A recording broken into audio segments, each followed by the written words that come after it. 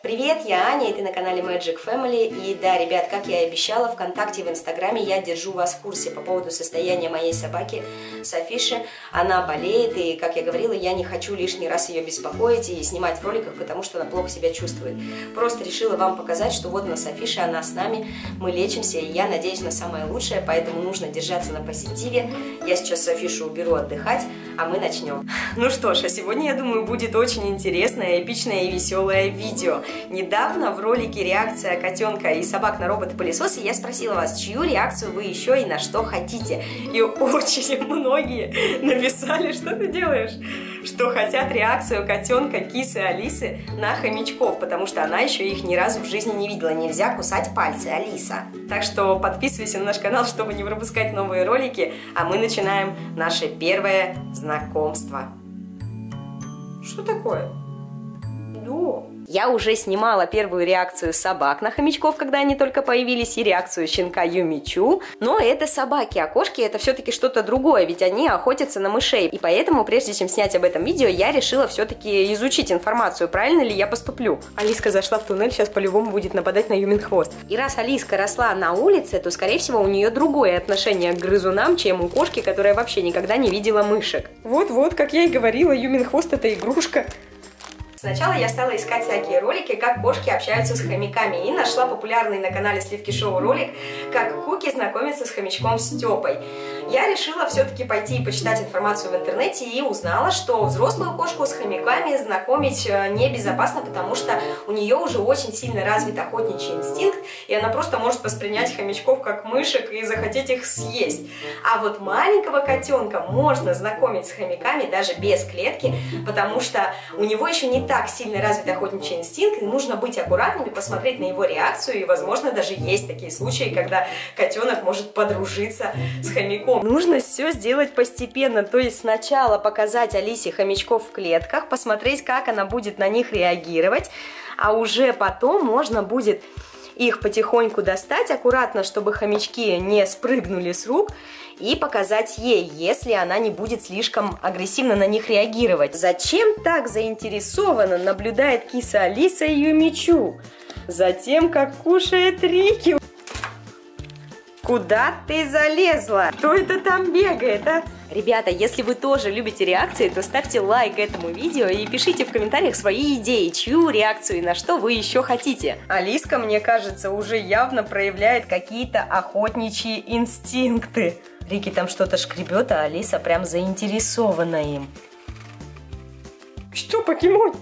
Sims 4 вышли обновления кошки и собаки, и я думаю, купить мне их или нет, и сделать ли там своих всех питомцев. Посмотрите на Алиску, она залезла. А себя я уже там сделала, это на моем канале Animagic, вы можете посмотреть, я ссылочку в описании внизу оставлю. Кто там живет, Алиса? Ты еще никогда не видела таких животных. Какие у вас питомцы и какие у них отношения? Посмотрите на этих двух любопытных мордах. Ну что, вы готовы? Привет, Рики! Где кошка? Кошка наблюдает с той стороны. Сейчас мы будем постепенно знакомить Рики с Алисой. Но делать это нужно очень аккуратно, чтобы он не спрыгнул и чтобы она на него не напала. Потому что кошки... Куда ты полезла в его дом? Алиса! Нельзя! Не лезь в дом! Нет! Вылези оттуда! Алиса! Алиса, вылазь! Вот он, Рики, вот он! Алис! Алиса! Она вообще не понимает, где он. Алиса! Алис! Вот он! Вот Рики! Пока Алиса реагирует очень спокойно. Так, аккуратно. Я прочитала, что нужно держать хомячка на руке и дать кошке понюхать его, но ни в коем случае не лизать и не кусать, просто понюхать. Вот, понюхай. Это Рики. Но смотрите, Алиска как будто не так уже активно на него реагирует. Она вообще понюхала его и больше не смотрит даже. Чтобы хомячку и кошке это не было стрессом, их нужно познакомить вот так вот постепенно. И не надо заставлять ее гонять хомяка. Она до сих пор думает, что там кто-то другой.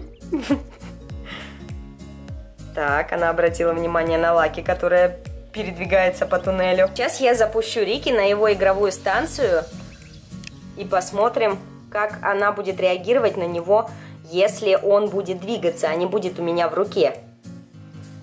Все-таки реагирует она на него, она как кошка на мышку. Мне кажется, она хочет его словить. Почему еще с хомячком можно знакомить именно котенка маленького? Потому что котенок, он не настолько большой, чтобы навредить хомяку. И если он захочет с ним как-то попытаться поиграть, то у него еще не такие большие зубы, когти и не такой сильный удар, чтобы как-то хомячку навредить. Но Алиска, мне кажется, реагирует поохотничьи. Тихо. Нельзя на него нападать. Поэтому, видимо, познакомиться прям по-настоящему. Ой, сам Рики пришел к ней, он сам ее хочет понюхать. Нападать нельзя. Нельзя нападать. Нельзя, Алиса, нападать. Можно только общаться, дружить, но не гонять. Рики, где он?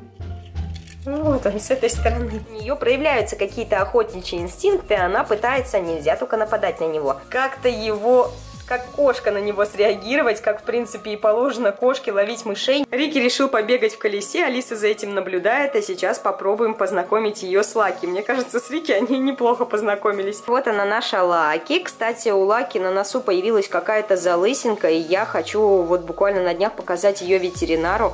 Я не знаю, что это, ребят. Но, в принципе, чувствует она себя хорошо, она кушает, бегает, играет. Посмотрите на этих ребят. Алиса, смотри, это Лаки, Алиса. Лаки. Нападать на нее нельзя, можно только ее понюхать, но не лизать и нападать на нее нельзя. Так, Алиса познакомилась с Лаки. Да, Алис, это Лаки. Лаки и Рики нет, лапкой нельзя. Смотри, какие они милые, Алис. Алиса, так как она еще котеночек, может сдерживать свои охотничьи инстинкты и не нападает на них. Она просто за ними с интересом наблюдает. Чтобы хомячкам тоже это не было стрессом, нельзя позволять э, кошечке как-то причинять им боль какую-то. То есть, пожалуйста, наблюдай, знакомься, нюхай но не обижай. Рики и Лаки вообще не убегают от Алисы, видимо, потому что они не чувствуют в ней какой-то опасности. Я видела такие фотки, когда джунгарики, хомяки прямо дружат с котами, то есть кот лежит, а у него на животе хомяк, и он даже не охотится за ним. Ребят, вы что там делать собрались? Нет, дети нам не нужны. Они решили вдвоем в колесе побегать. Кстати, мне говорили расселить Рики и Лаки, потому что они будут драться, а они вообще у меня не дерутся, даже когда встречаются. Они наоборот начинают обниматься, целоваться, когда так долго долго разлучены. Рики, ты что делаешь? Нам не нужны дети. Так что не надо тут. Ну, конечно, нельзя их оставлять без присмотра с кисой наедине, иначе она все-таки может натворить бед. Поэтому даже когда... Ой, кто там упал? При этом она на него не нападает, она его нюхает. Да, Алис, просто нюхаешь? Рики с крыши шлепнулся, а Алиска просто его нюхает. Ну что, вы подружитесь? Станете друзьями? А? Если бы здесь была Софиша, она бы очень активно реагировала на хомячков, она ими очень интересуется. Но вот, например, Эйвану и Мише вообще все равно, они там лежат, спят. Юмичу только немножко интересно, но она уже знакома с Рики и Лаки. Мне кажется, что если бы я Алиске разрешила, она бы с удовольствием поохотилась на Рики и Лаки. Алиса, нападать на них нельзя. То есть я все время пресекаю ее поведение, ругаю ее, но у нее есть постоянное желание все-таки словить Рики и Лаки и напасть на них. А они, по-моему, и не особо ее боятся. Хотя, может, если нельзя, мы будем каждый день ее с ними знакомить, нельзя, не нападай. То она все-таки подружится с ними. Нет, Алис, не нападай на малышей. Посмотрим, получится ли у нас. Смотрите, скалолаз полез. Лаки, заходи. Алиса сразу настораживается, такая, такая вот, прям уловить пытается все-таки их. Да, Юмичу? Смотри, кто это? Кто там в туннеле? Алиса опять залезла в клетку. Дай закрою. Все, хомяк уже не нужен. Есть лучшая подруга у Юми с... Э, Алисой очень классные отношения, они прям как лучшие друзья, они вместе играют, вместе спят, моют друг друга, бесятся, ну вообще прям какие-то такие. Я прям безумно рада, что Алиска с Юми так подружились. Кстати, посмотрите, как Алиса подросла уже, и что они играют вместе, и вообще... Они дерутся, но так, играючи, потому что если бы Алисе не нравилось, она бы просто-напросто убежала куда-нибудь, но она продолжает делать это с Юмичу. Ну посмотрите на них, посмотрите на это. Кстати, на их личном канале именно питомцев, где я их озвучиваю, тоже постоянно выходят ролики, так что подписывайтесь и смотрите новые видео там. Раньше наша девочка Лаки жила вот в этой клетке, а Рики жил вот в этой вот клетке с туннелями. Так вот, со временем я поменяла их местами, потому что я поняла, что Лаки гораздо более комфортно будет в этой клетке, потому что она очень активная, ей нравятся всякие туннели, ей нравится лазить по лесенкам, лежать в гамачках, бегать в колесе, а Рики более спокойный, и у него другие увлечения. Ему, например, нравятся очень качельки, машинки, то есть он прям катается вот в этой штучке. И если Лаки не спала вообще вот в этом вот домике, как бы над землей, то Рики обожает там спать. И Рике очень нравится вот этот вот туннель сверху вниз, он постоянно по нему бегает. А Лаки наоборот сидела на каком-нибудь этаже, поэтому очень удачно поменяла я им клетки и получилось, что им обоим теперь весело в своих домиках. Мне кажется, первое знакомство Кисы, Алисы с Рики и Лаки прошло не так уж и плохо.